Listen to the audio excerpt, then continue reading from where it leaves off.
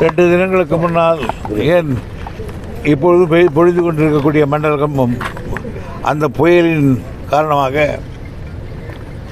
பூண்டியினுடைய catchment ஏரியாக்கள் அவருடைய நீர்ப்படுப்பு பகுதியில் அதிகமாக இந்த மழை மழை பெய்தது அதாவது அரக்கோணம் நெமிலி காவேரி பக்கம் ராணிப்பேட்டை இது மாதிரி அங்கே போய் உள்ளே போய் பொழிஞ்சுது.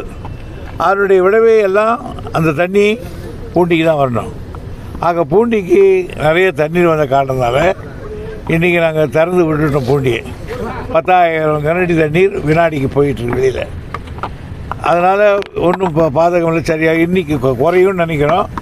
மழை வந்தால் இனிமேல் மழை வந்தாலும் கொஞ்சம் சமாளிக்கலாம் ஒன்றும் பூண்டியை பற்றி பிரச்சனை கிடையாது.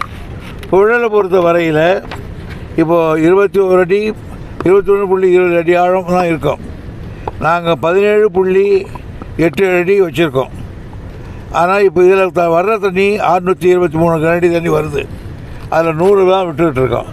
ஆக இங்கே ஒரு ரெண்டு அடிக்கு ஒரு அதாவது முப்பது முப்பது முப்பது சதவீதம் தான் தண்ணி இருக்குது நாங்கள் கொஞ்சம் போடலாம் தண்ணி. அதான் நான் இப்போ அவங்களுக்கு சொல்லியிருக்கேன். இப்போ அங்கே இருக்க வீணாக போகிற தண்ணி கொஞ்சம் திருப்புங்க. மழை வந்தால் அங்கே விட்றத இங்கே விட்டுட்டு போக போகிறோம் இங்கே ஆனால் கடைசியில் கடைசி நேரத்தில் மழை வரலன்னு வச்சுக்கோ இந்த இடத்துல காலியாகவே இருக்கும்.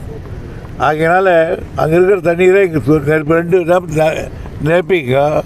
பட் என்ன ஒரே ஒரு சங்கடம்னு கேட்டால் பூண்டியில் எவ்வளோ தண்ணி விட்டாலும் அது போகிறதுக்கு வழி இருக்குது இங்கே இப்போ நிறைய நிறைய வச்சுட்டு தண்ணி திறந்தோம்னா அதை வாங்கக்கூடிய கால்வாய்கள் சென்னை மாநகரத்தில் உள்ளே இல்லை.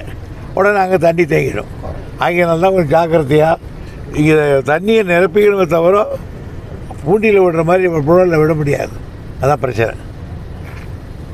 வேறு என்ன